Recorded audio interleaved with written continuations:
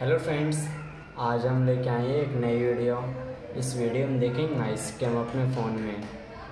Notification ringtone को कैसे change कर सकते हैं। वीडियो शुरू करने से पहले आप हमारे चैनल लाइक और सब्सक्राइब कर दिए। वीडियो शुरू करते हैं नाइस तो हम पाए जाएँगे पहले सेटिंग पर।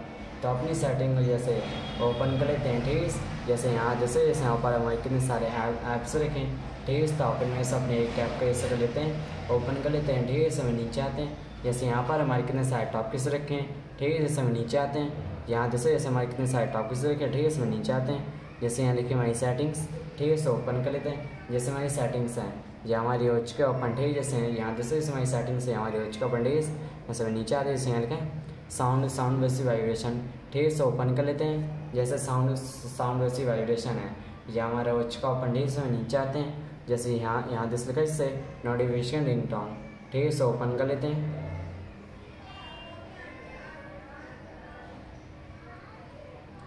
जैसे यहाँ देख सकते जिसमें जैसे नोटिफिकेशन रिंग टोन है। ये हमारी हो चुका ओपन ठीक है, जैसे यहाँ पर देख सकते जैसे यहाँ पर कितनी सारी हमें जैसे कि नॉन रिंग टोन ठीक है हम चेंज कर देते हैं, ठीक है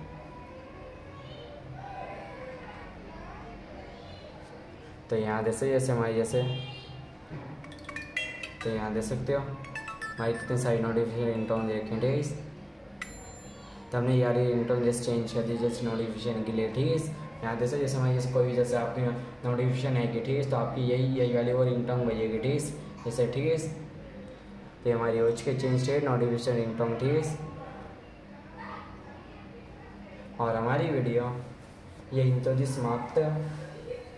मिलते नेक्स्ट वीडियो में और और, और हमारे चैनल को। लाइक और सब्सक्राइब करिए thank you very much guys और और हमारी वीडियो देखने के लिए नमस्कार।